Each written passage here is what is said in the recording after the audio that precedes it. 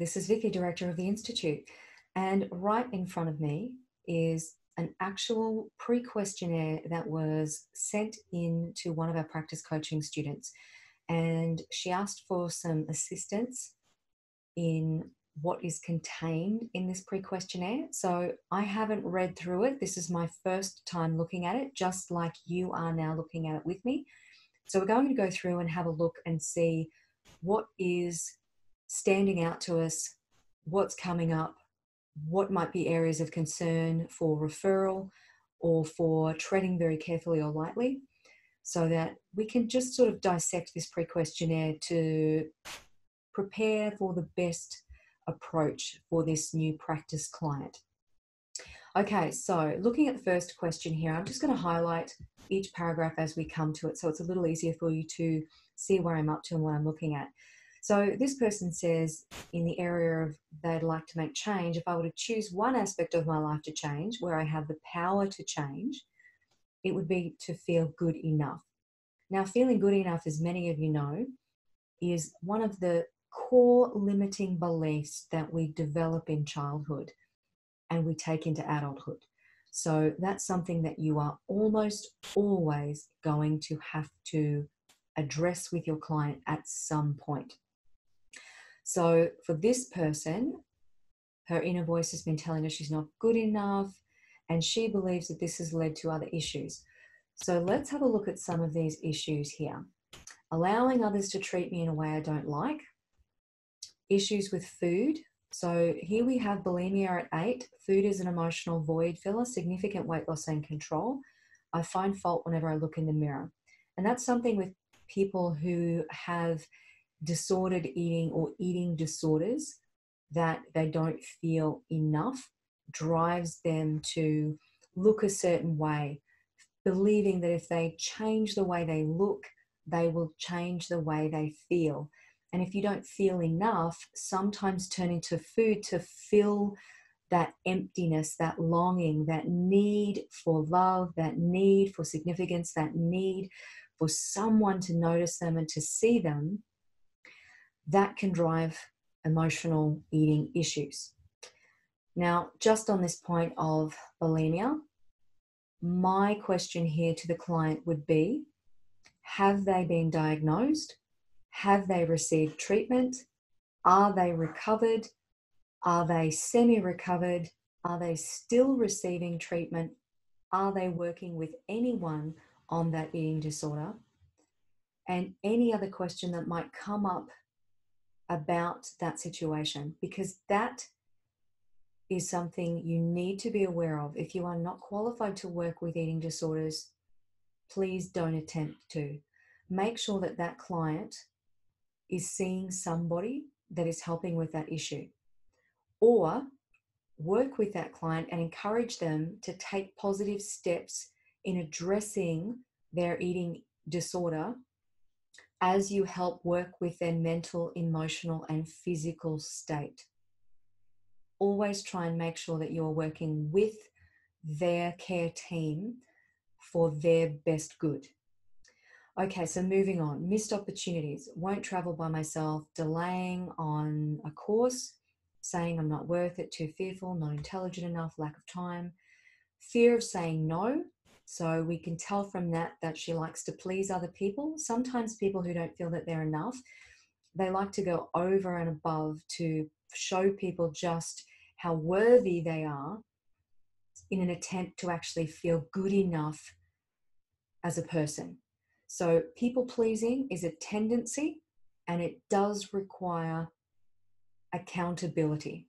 And when you get to that section in the diploma course in module eight, when you look at your own tendency, that's from Gretchen Rubin's Four Tendencies, and that will be very, very helpful in helping you work with people who do have a tendency to people please, meaning that they can meet outer expectations of them because they'll do anything to please the people around them, but they will not do anything to keep themselves accountable to meeting their own needs.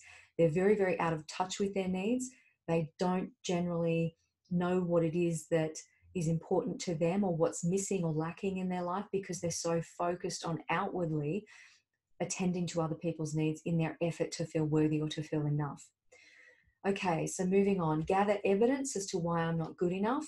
That's just the negative loops in the brain, the negative, uh, the negative associations that the brain has accumulated throughout experiences that then tied together build that emotional loop in the brain, those neurons firing and wiring together in a certain pattern that is evidence that that must be true for that person. So, really, that just means that they have a mindset that is fixed and it's based on previous experience. So, that doesn't mean that the rest of their life has to be like their life thus far. It means that they can shift that, they can change that, and that is where a holistic coach can come in fantastically to help that person first off become aware of their negative self self talk, explain to them about the negative habit loops, and then help them to start to challenge them so that they can start to learn that well actually there is equal evidence if not more that they actually are in fact good enough that they actually do deserve to have a relationship etc so moving on again I'm working on building my relationship with my mum, but my dad isn't interested in making the effort, so I don't have a relationship with him. Now, here is very, very telling here in the brackets can't be worth much if even my parents don't invest. This is something that you may come up against quite a lot as well.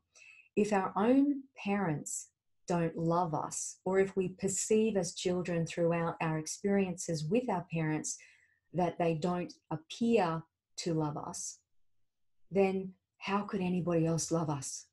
So here is where the worthlessness comes in. We learn a lot from our parents, and unfortunately, because we're children and emotional brains, we don't always interpret mum and dad's stressful behavior, their temper, their mood, they're in a hurry, don't have time for us behavior. We just don't understand as children because we don't know what it's like to be a grown up and have to juggle work and family and money. You know, we really don't. So, as children, we just internalize all of our emotions and we come up with our own ideas that, well, well, it must mean that they don't have any time for me because I'm not worth spending time with. It must mean that they don't love me, so I'm not lovable. See how this can all get tangled up in a child's mind and it just follows through in the subconscious into adulthood. And this is what's really driving all of their negative patterns and certainly not helping them to be able to have a full and healthy life.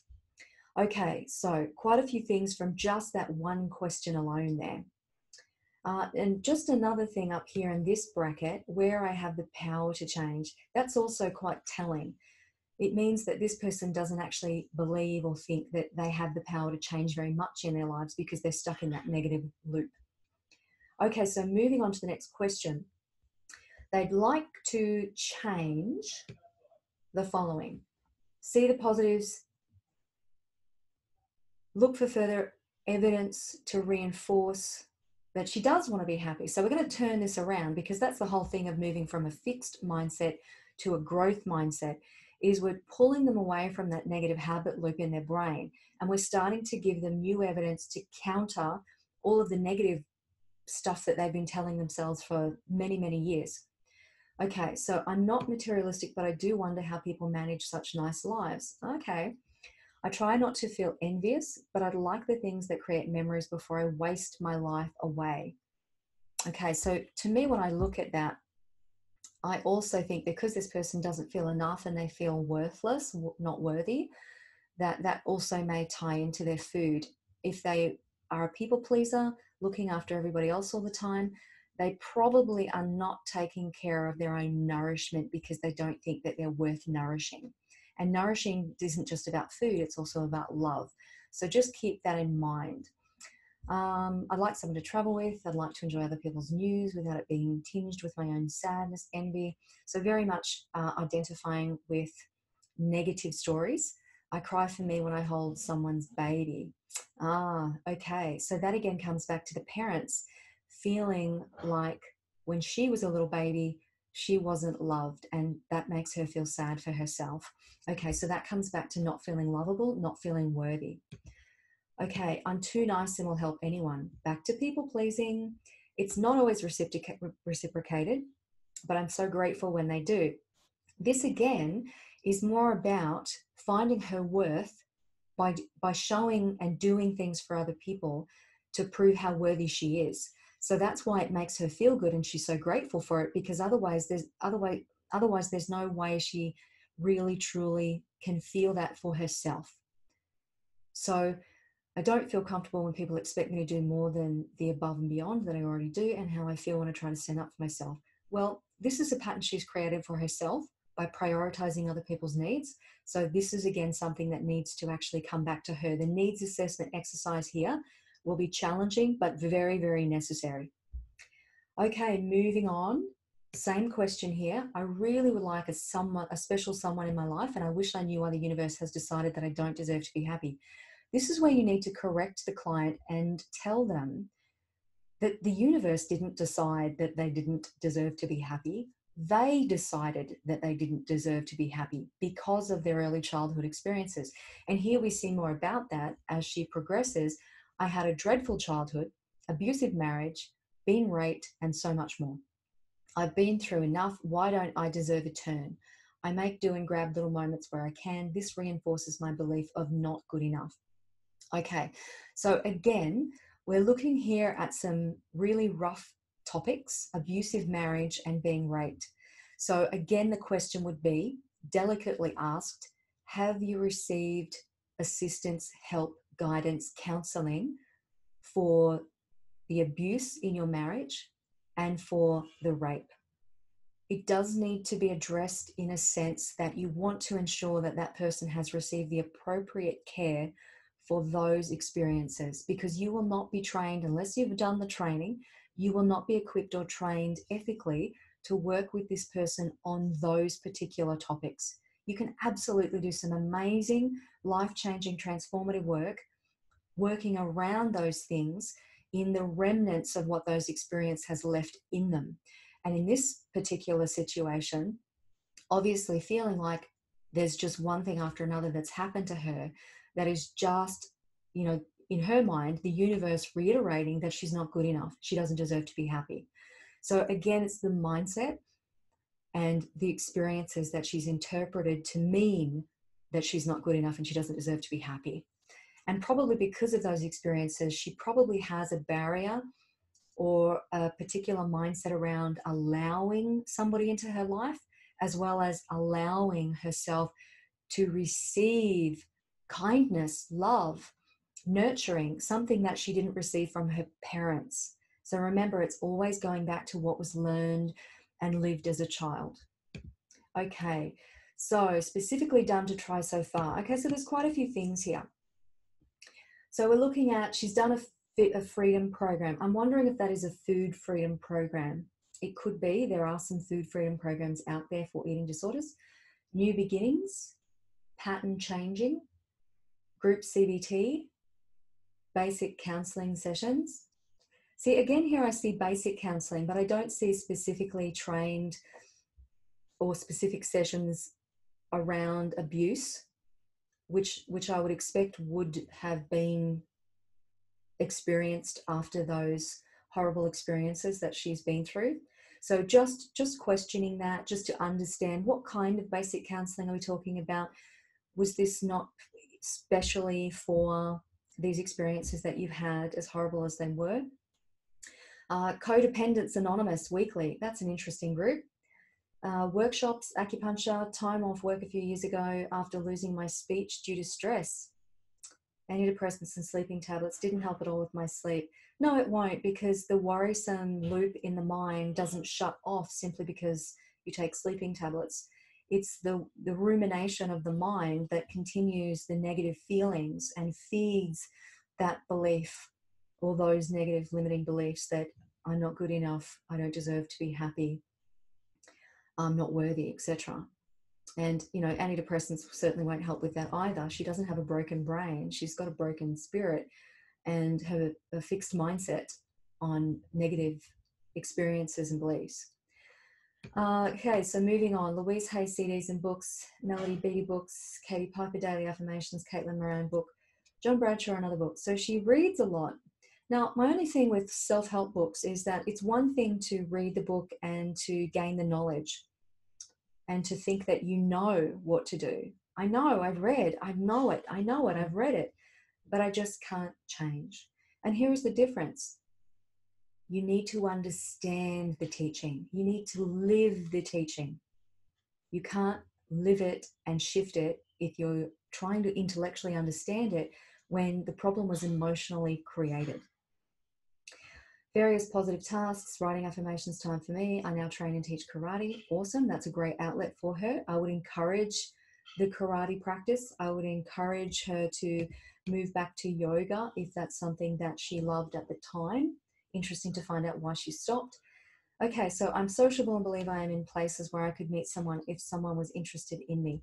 So here, this is this last part of the sentence is really just the telling one. She is sociable, and she thinks that if she was in certain places to meet someone that they would be interested uh, if, if only she would sorry i'm going to start again that in those places it would only be reliant on if someone was interested in her which of course she's going to have a, a belief that well no one's going to be interested in her because her parents weren't even interested in her. Okay so what worked and what didn't. I've taken something from all of it, but I've never found counseling helpful as I think I need something deeper and someone to say, well, cut the crap, or I don't know why the asterisks are there if it's crap, but okay, so that it goes below surface level. Okay, so definitely as a holistic life coach, you're going to move beyond surface level because you're moving from the cognitive mind, the thinking brain, the analytical, rational, you know, trying to problem solve. You're actually moving down to the subconscious, the belief systems, the emotions, and, and really going a lot deeper than a lot of counseling, traditional therapy actually does go.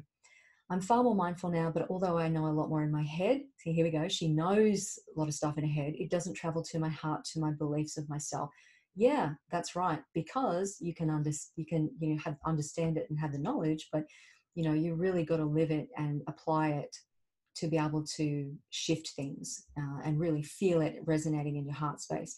So, you know, again, that's kind of um, sort of self explanatory for where we can see this client is at. So, what do you think, feel or believe, is holding you back from making this change? I don't sleep well at all, not slept through since I was about five years old. Interesting. I'm always tired and generally just getting through the day. So, interesting, she can actually remember from five years old that she hasn't slept well. So, I would be asking, what do you think it was around five years old that interrupted your sleep? You know, what happened? What changed that if you can remember sleeping before five, why is it that five is such an important number that you remember you started having issues with your sleep? The universe keeps sending me experiences and events to remind me that I don't deserve to be happy. Fear of rejection and getting hurt again. The universe is not sending her these experiences to remind her that she doesn't deserve to be happy. The universe is sending her experiences. She's relaying them back to old events and coming up with the same old negative limiting belief because it's the same habit loop in her fixed mindset. Those experiences are asking her to do the work. Those experiences are asking her to dig deeper. And hopefully she is because she's come to you. Fear of rejection and getting hurt again, that just feeds into letting people get close, and they're hurting her and just proving all over again that it's not safe. It's not safe to be in a relationship. It's not safe to have somebody love her, even though she desperately wants it. There is the conflict in her mind. And of course, you know, when we have a conflict between what we say we want or we think we want and what the mind, the subconscious, actually believes is in our best interest to have, then there's going to be an issue because the subconscious will win every single time. So, again, it's not what she thinks up in her conscious thinking, it's what she believes in her subconscious. All right, so first easiest step I don't know. Not, not unexpected here.